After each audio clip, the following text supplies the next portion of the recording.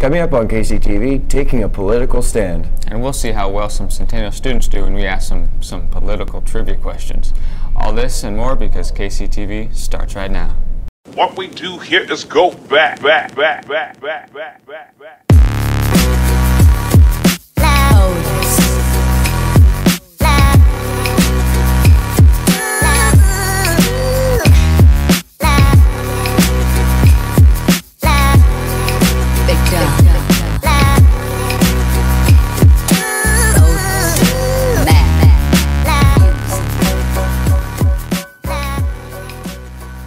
In just over three and a half weeks, the United States will elect a new president, and some Centennial students are getting politically involved. I'm Chris. And I'm Brad. Welcome to KCTV. Federal law designates the first Tuesday after the first Monday in November as National Election Day. This year, the date is November 8th. Two politically minded clubs, the Young Democrats and Young Republicans, are hoping their voices are heard here at Centennial. KCTV's Paige Schaefer has more. They're definitely going, I thought the idiot would have self imploded. There are a lot of complaints about this year's presidential candidates, whether it be Hillary Clinton or Donald Trump. One of the ways you can help out for the future is by becoming more involved. Take the Young Republicans of Centennial, for instance. Offering CAP credit for senior government, you can find the club meeting every first and third Tuesday in Mr. Murphy's room at lunch. So the point of the club is to kind of share our viewpoints with Centennial because there's already a young Democrat club, so we thought it'd be a good idea to make a young Republican club, and that's how it pretty much got started. And so if everyone can come out, that'd be cool. There are roughly 20 members ranging from sophomores to seniors, but all grade levels are welcome to join, including you, freshmen. With the election being this November, there is plenty to talk about in the club meetings. Right now, we're just going over like the current events that are happening, like in the debates and um, election and stuff, and we're gonna do some fundraising and go over that and go over T-shirts.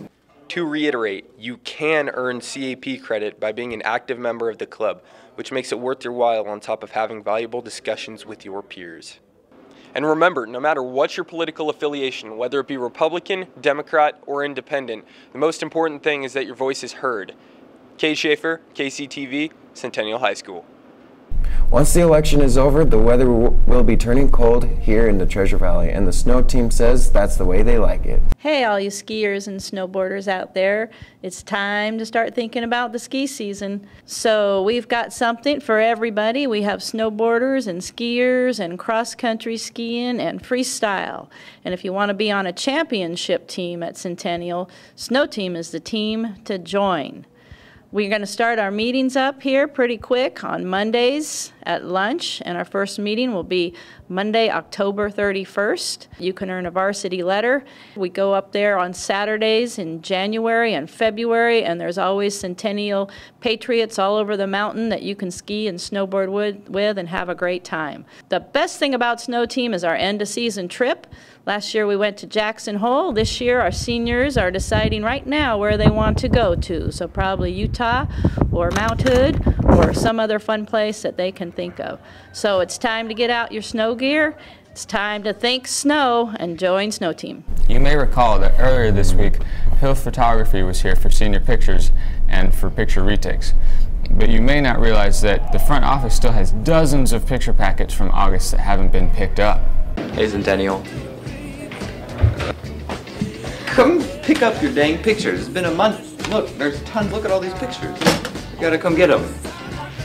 He needs to get his pictures. Hey guys. So, Can we put Norman in our video? people will need to get their pictures. 'cause pictures have been here for too gosh darn long. One kid. Calvin I- Arstein.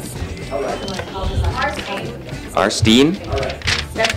Come get your pictures, Arstein. Get your pictures, guys.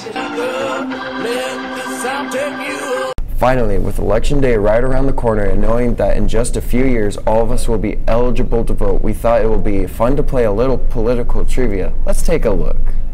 Okay, so we're walking around the halls of Centennial right now, and due to the upcoming election in 26 days, we're going to see if the students around here know a little bit about our country.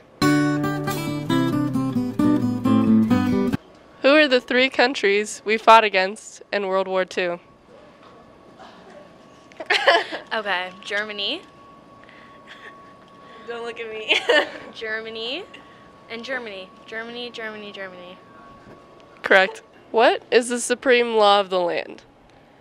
Um, I don't know what that is.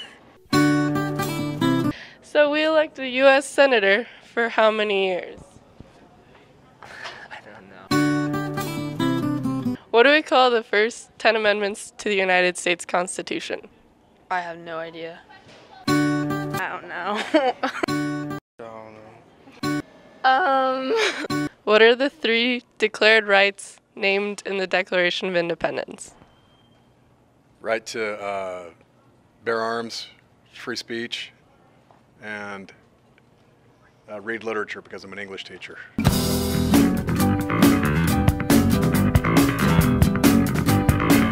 And that's KCTV for today, fellas. I'm Brad. And I'm Chris. We hope you have a great day.